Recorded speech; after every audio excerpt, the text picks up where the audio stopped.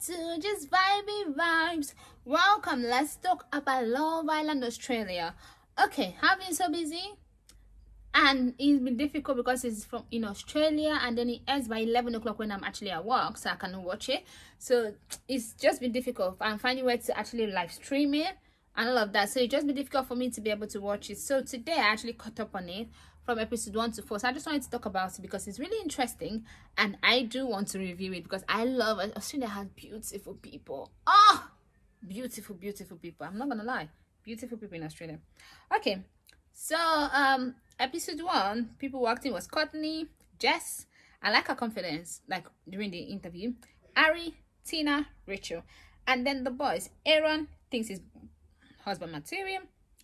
Taku, I like his personality. Ronnie, I don't know. I don't like Ronnie. Not that I don't. I hate him, but and he was talking. He wasn't making sense to me. I don't understand why the girls, even Stefan, everybody was like, oh, "You were just too." Mm, I don't know. It was too. I like Goofy, but he was just extra, like in a way that I did not like. But obviously, other people can like him. Jordan, I like Jordan and Ryan. Okay, so the, the people coupled up. So it was Aaron with Courtney. Taku was with Rachel. Then it was the Arifas. I called him Daddy. But then that was so funny. But then, whatever the case is, uh, Ari left him for Ryan. And Ryan has experience with 500 girls. I'm like, 500? Like 500. Oh no, that's a lot. It's not, it's the fact that he counted it. And it was the fact that, like, how do you sleep 500? Like, is it every day? Like, and he's young. That's the i think he's 20 that's when between 22 to 25 so when did you start doing it? That was my own. It's just like if he was like 40 it would make sense to me. But that young? Anyway so then they all coupled up. My favorite people was taku and ari. Oh i love ari. Okay so then um i'll just talk about the fact that rachel and Courtney did not know what libido it was. I was like what Really? Is the fact that Jess was looking for a way to leave. Oh, Jordan. For me, Jess was like, oh, it's red flag, it's red flag. I understand that. The guy had red flags. And yeah, because you step forward for someone else, she's that kind of people that don't want to take blame because she stepped forward for someone else. Person did not pick her. She could have just been like, okay, I step forward. I don't know. I'm just, you know I mean? I'm I don't know what's happening now. But then to Nasty say, oh, I, I, I, I, didn't trust you, I didn't trust you, I didn't trust you, I was feeling some kind of way. Like, seriously, you saw the red flag, say you see red flag, you run, like, why did you step forward? That was how I felt. Like, why did she step forward? I understand that the guy actually later on and did something, but that first episode, I was thinking, why did you step forward if you're going to be talking about, oh, your red flags made me feel the way your red flags made me, then why did you step forward? And also, I was also saying the same thing about, what's his name? Aaron because he stepped forward and then he said that Jess is the kind of person. Jess step, Jess was available. You were the first person to pick. Why did you not pick Jess if you were so attracted to Jess to start with? You went with um Courtney only for you to now tell her that, you know, sometimes I don't understand. These people, they don't understand what they're doing to someone's self-esteem. You cannot do that. Pick who you want to pick. Let the person know. Not when you're with a girl and they ask you. Everybody said, do you think that they were more attracted to them? Some of them were not. Sometimes you just say things to make people happy. Understand that the truth is important. But in that kind of situation, not really. It was kind of like, please, you could have picked Jess. Jess was available when you came into the villa, but you didn't pick her. If you had picked Jess first and then Jess just left you, then people would have understood. But no, you didn't. So I, so I, to be honest, I don't feel pity for him for uh, Jess now doing him the way she's doing him and now being with Taku because she didn't feel nothing with him. I don't feel for him because did he feel for Courtney when he did that? Mm. At the end of the day, it's still early days. But I want to say that Rachel, Rachel is the real MVP. That guy's a smooth operator. Like, how did she do that? Like, she, I'm not blaming her, right? Because Jordan and she. So Jordan kissed her, right? But the fact that she cried about it because she felt so bad, then in that same day, like just kind of like what's her before you know she and Jordan are now a couple if you felt so bad about it, why are you coupling up with him? I understand that it's just the first day, so I'm not like, you know what I mean? I'm not, how will I say, holding them. I understand like, okay, it's a high test situation. You have to be in a couple, so sometimes people want to hold on to something that they shouldn't hold on to. But the fact that she did all of that like she went on like is like on like nothing it's like she did everything and she was just innocent and the way whereby when the two new guys came in um mitch and chris the way that she just went straight to jordan and talked to him when she knew that the guys were there and just get herself free so that if the guys come she is free. I was like girl if i wanted to be a player girl you need to teach me something because she's doing this thing so smooth. Nobody's even noticing it. Like wow that's all i'm gonna say. So rachel on that note you're the real mvp i was so happy when the guys came because of Ari, at least she's not going to be going home. And I like the fact I feel like um Love Island Australia, the producer producers are actually quite smart because they did that whole favorite so that person cannot go home. So Taku was the favorite, so he cannot go home.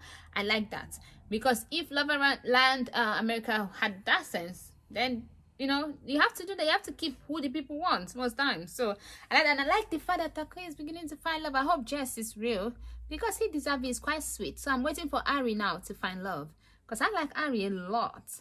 And then as for Lexi and Ryan, honestly, I feel like Ari, I understand that both of you.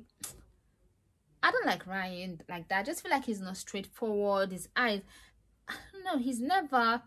There's a way he behaves that just makes me feel like he just red flags. Like I don't feel like he's straightforward like that. I feel like he's all up on Lexi because he has at the moment let the new girl come in you know the, the the next bombshell let's see if she picks him how he's going to react you know things like that how he's going to react because i don't trust him yet because now he knows that the girls they need the girl to be safe so and I know him and Lexi had the whole conversation where he said, "Oh, he's feeling her, blah blah." Then he kissed her, but the way he was like, "Well," uh, when she was asking, like, "Do you feel it?" Like, no.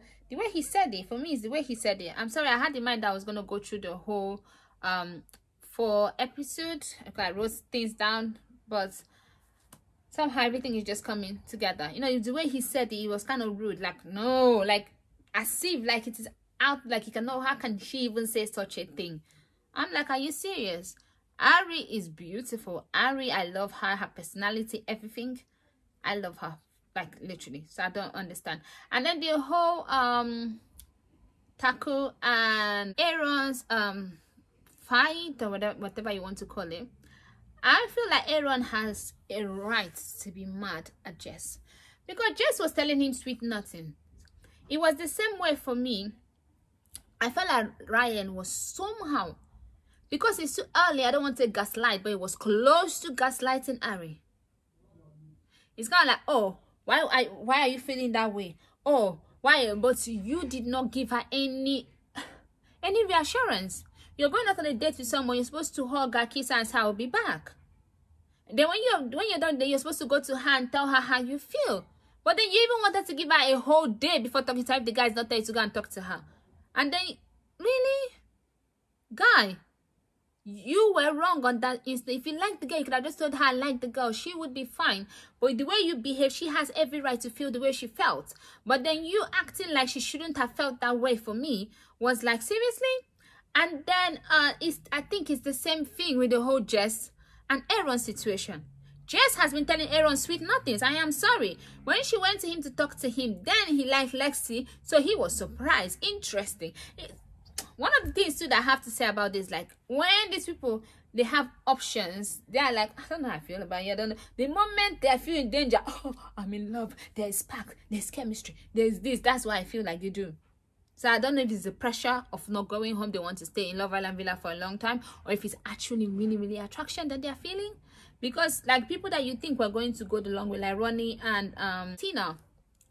Ronnie and Tina. I was thinking they're to go the wrong. Because Ronnie really, really like Tina. But Tina is just kind of like that. But anyway, I think the good thing is that lots of people like her. Mitch now likes her. So this she's fine. But I was that sometimes you feel like these people are doing well and then they just show you that they're not doing well. But I do feel like Jess is wrong with the way she treated Aaron, like telling sweet nothings and all of a sudden he's like, you know, nah. So I understand him being hurt. But the thing I don't understand is that he hurt someone else, but then he felt like that person's feeling does not mean nothing, like Courtney when he did. But now he's overtaking, like he's taking it to to an extreme, saying, I know he said he's joking, I understand, and I, understand, I feel like Taku should have understood and just, to be honest, not have the conversation with him. But I also understand that this is a show, and the producers will tell him, "You guys have to have a conversation." That's how reality show works. So I think maybe that might have been the reason why he talked to him about it, or even why the other guy even went to tell him about it. You never know. But um, my thing is this, right? Taku should have just understood him and say, oh, he just is uh, feeling like he was just joking. I'd have just said, okay, and let it be. But saying that it was stupid what he did, yes, it was stupid. Like the joke makes no sense he was hot. It was coming from a hot place and he wanted to actually do it let's be honest. But i understand that takushi have just felt for him. Imagine the situation he is. Sometimes people need to put themselves in other people's shoes. But does it mean that he should sabotage the dates no but at least he didn't sabotage it.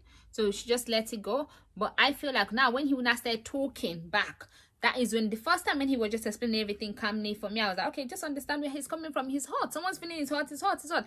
And guys don't know how to take hot. They don't know how to take rejection. They know how to reject. They love rejecting. But to take it, hmm. Like, especially when they're like in a relationship and they girl or like in whatever, they feel like they already kind of have the girl. And then the girl has to choose between two people and she's choosing someone else. Hmm. Ego. Ego gets hot. But for me, I just felt like when um he was having that conversation and then he said saying uh, don't take it personal. And said shouting like you know I, like i don't care i don't take it personal. It is personal. It was his date. He planned it. So it was personal. So i feel like really all in all aaron was wrong at the end. In the beginning was he wrong? Yeah but he was hot. So that should been understood. But at the end was he wrong? Yes he was wrong.